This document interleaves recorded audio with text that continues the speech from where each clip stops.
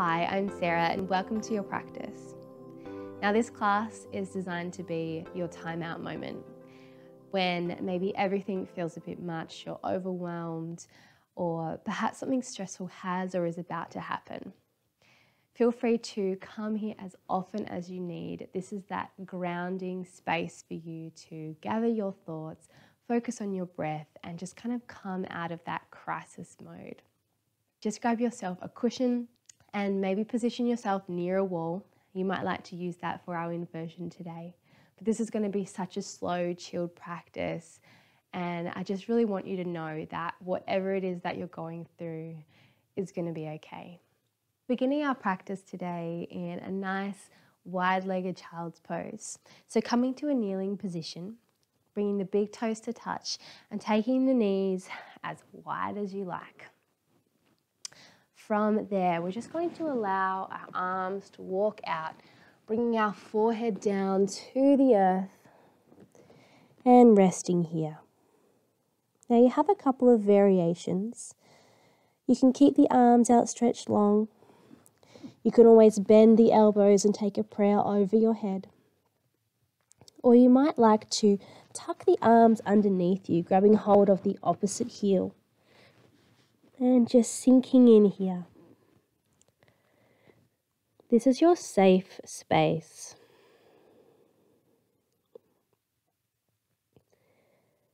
Just now drawing attention to your breath and just trying to work with lengthening the exhale. So perhaps breathing into a count of four and then breathing out to a count of six.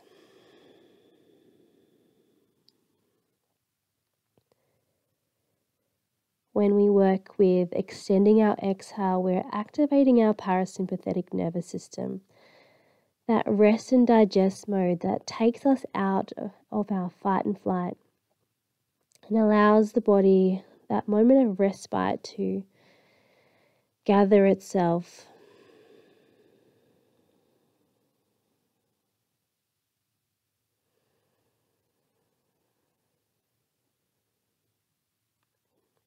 See if with every exhale you can just let go a little more.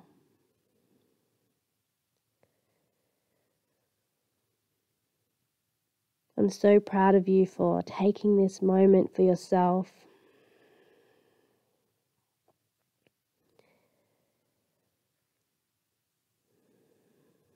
See if you can feel that for yourself as well.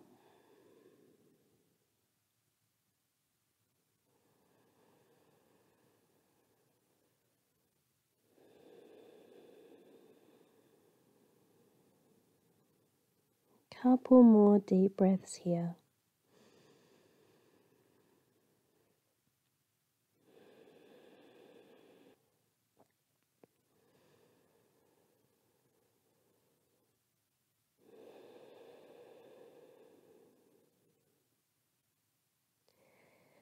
Beginning now to draw yourself back up to a seated position. So if you've had your arms tucked underneath you, just taking them out in front of you again and then just gently allowing the body to come back up to a seated position. Now I'm just going to turn so you can see me. But from here we're coming into our deer position. So I want you just to simply shift the hips onto the floor towards the right. Now you've got your um, sort of your both your knees in this bent position. And I want you to take the right foot and place it on the top of your left thigh. Still on the mat though, so not like on top of this part, but on the mat. And I want you to flex that left foot. So now you're in this really nice position where you've got these sort of two nice triangle shapes. From here, inhaling to sit up nice and tall. And then as you exhale, just turning towards the right and drawing yourself down towards the mat. Now you might just come to the elbows and find that that's enough for you. Or you might find that you can sink a little bit further. Maybe you're stacking the fists and allowing the forehead to rest there.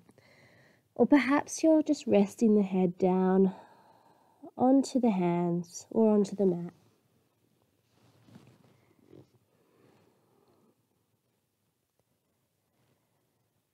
Just chilling out here in this relaxing twist.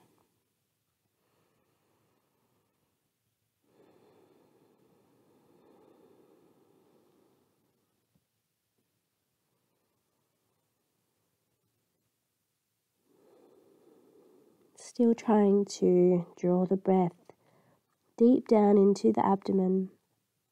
Can feel a little restricted in this twist, but just see how you go.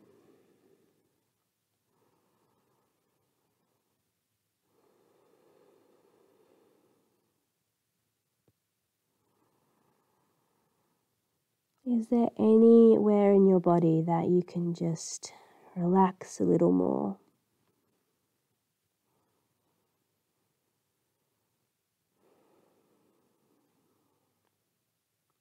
One more deep breath in here. And then exhale. On your inhale, press into the hands to draw yourself back up into a seated position. And we're going to take this to the opposite side. So here, just switching the fold of the legs. So now you have the right leg coming beside you and the left leg coming in front of you with that left sole of foot on the top of the right thigh. From here, inhaling to sit up nice and tall and then exhaling to twist over to our left side. Just relaxing down onto the floor, finding the space that works best for your body right now. And acknowledging that it might be different on this side. Seeing if you can just relax a little deeper.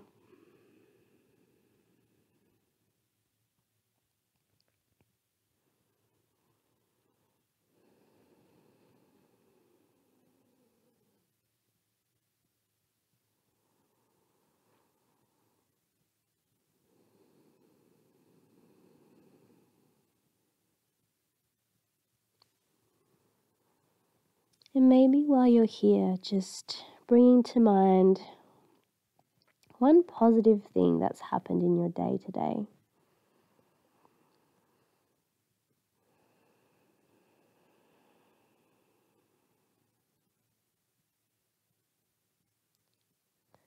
Together, let's inhale and press into our hands as we bring ourselves back up into our seated position. Releasing the legs now, just giving them a little shake. And this is where you'll want your cushion, or maybe you'll want to come to the wall. I've got my bolster here. So, bringing your cushion onto your mat, and then taking your hands behind you and just allowing yourself to draw down to your spine. Here we'll press into the heels to pick up the pelvis and then slide the cushion or the block or whatever you have, or just to lift your legs up against a wall. We'll inhale to lift the legs if you're on a cushion, and then exhale into position. Now, if you are using a prop to prop your hips up for this inversion, you'll know if you're in the right place if you can just relax here. It's sort of that sacral area of your pelvis, that flat part of your lower back. And it just allows the legs to just rest up and the belly to relax. And once you've found that spot, taking the arms out long beside you, closing down the eyes, and settling in here.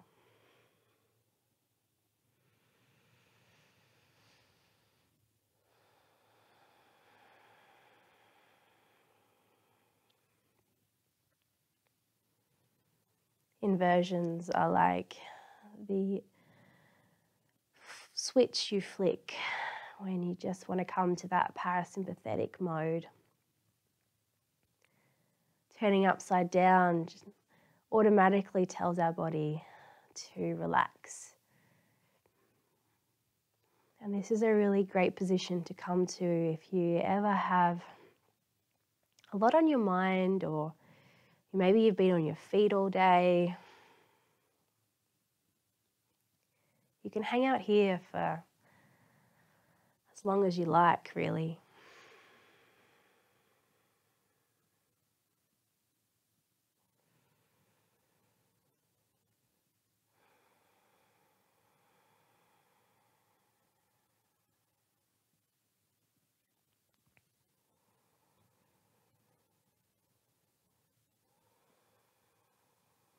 Maybe using this time to bring to mind a couple of things that you feel grateful for today.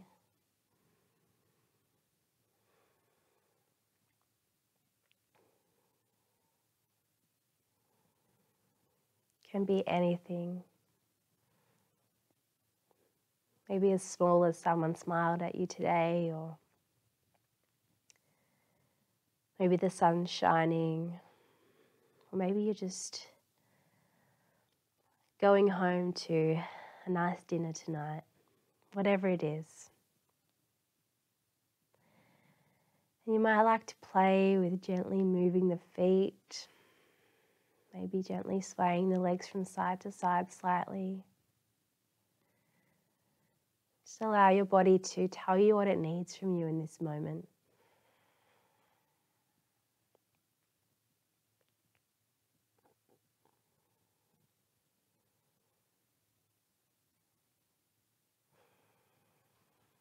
And then from here, we're just going to gently allow the legs to come back down to the earth. If you're against a wall, just slide yourself out a little bit or roll to one side.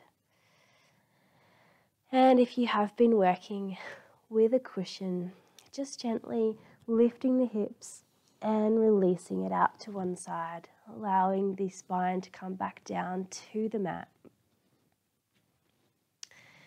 And here, stretching out for our Shavasana, taking the legs long and wide, arms wide beside you. If you're working with any low back injuries and this is not that comfortable for you, you can always bend the knees and then allow them to drop in towards each other.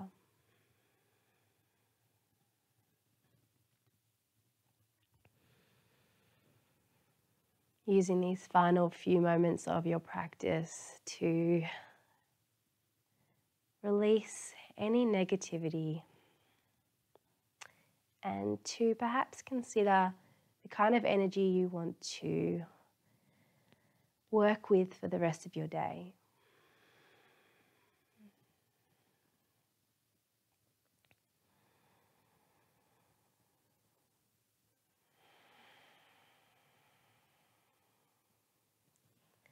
I'm going to leave you here in your Shavasana.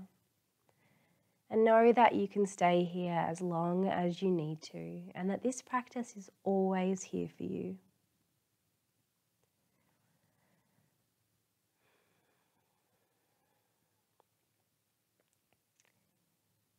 Sending love. Namaste.